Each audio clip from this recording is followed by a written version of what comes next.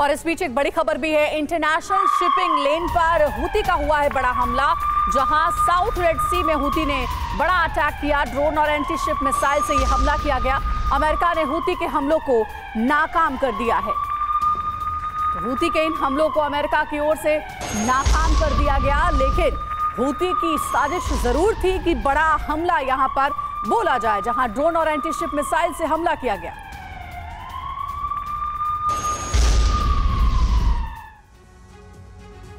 के खिलाफ गाजा में ऑपरेशन शुरू करने के साथ ही इसराइल ने अंदेशा जताया था कि हमास के पास केमिकल हथियार भी हो सकते हैं। अब ये शक सच साबित हुआ है। अक्टूबर में इसराइल ने हमास के लड़ाकों के पास से मिले मैनुअल के आधार पर यह दावा किया था। अब इजरायली सेना उस सुरंग तक पहुँचने में कामयाब हुई है, जहाँ केमिकल हथियारों के जखीरे के साथ ही हथियार बनाने की मशीनें मौजूद हैं।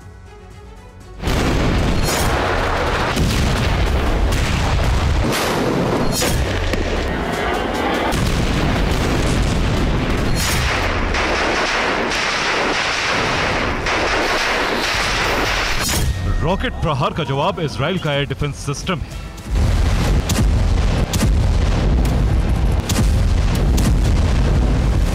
हमास की एंटी टैंक मिसाइल का जवाब भी सेना के पास है, लेकिन हमास के पास एक ऐसा हथियार भी है, जिसके प्रहार को रोकना बेहद मुश्किल है।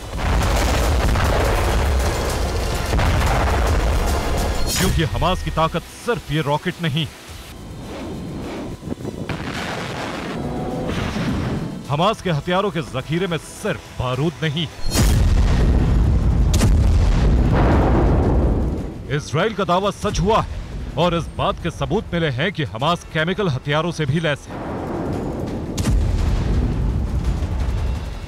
खुलासा एक सुरंग की तलाशी के दौरान हुआ। सुरंग के भीतर केमिकल वेपन की बकायदा फैक्ट्री लगाई गई थी।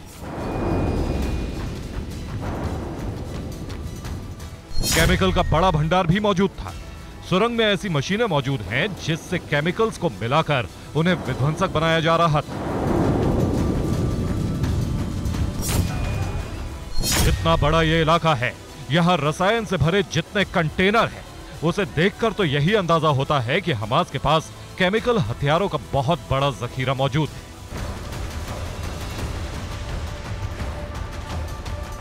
और हो सकता है हमास जिन तस्वीरों को दिखाकर इसराइल पर व्हाइट फॉस्फोरस के हमले का आरोप लगाता है।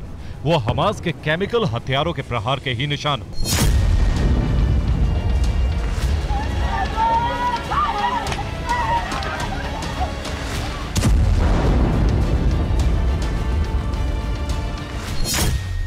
माना जा रहा है कि गाजा में कई केमिकल हथियार की फैक्ट्री हो सकती है।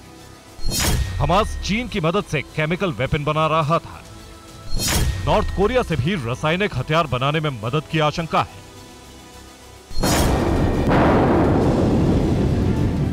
अब सवाल है कि क्या हमास केमिकल हथियार बनाने में कामयाब हो गया है या फिर अभी सिर्फ़ कोशिश चल रही है?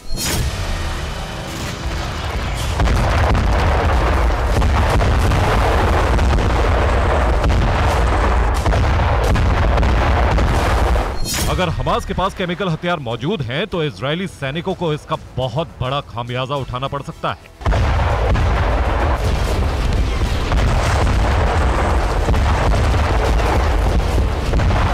इस बीच गाजा से लेकर वेस्ट बैंक तक इसराइल की सेना का ऑपरेशन जारी। है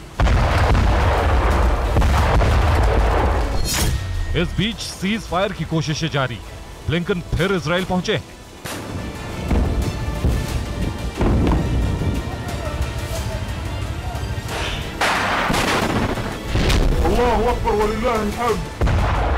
ब्लिंकन ने सोमवार को संयुक्त अरब अमीरात और सऊदी अरब में बातचीत की है, लेकिन रास्ता नहीं निकल पा रहा है।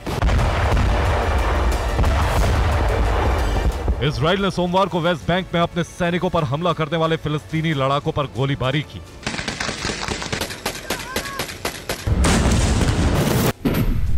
इसराइल की सेना वेस्ट बैंक के जेनिन में लगातार ऑपरेशन चला रही है।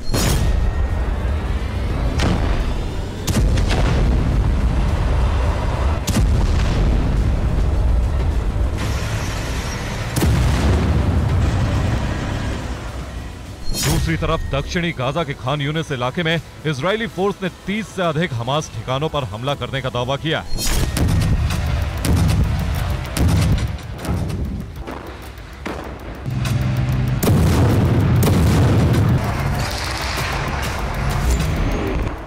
एक रिपोर्ट में यह दावा भी किया गया था कि आईडीएफ और इसराइल इंटेलिजेंस शिन बेट ने हमास नेता यहाया सिनवार का पता लगा लिया। है गाजा में ऑपरेशन शुरू होने के बाद इसराइल ने अपनी इंटेलिजेंस को बहुत ज़्यादा मज़बूत कर लिया है।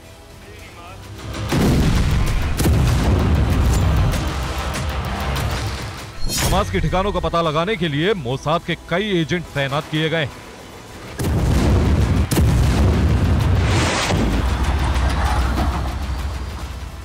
यही वजह है कि इजरायली सेना को पूरा यकीन है कि बंधक जल्द छुड़ा लिए जाएँगे।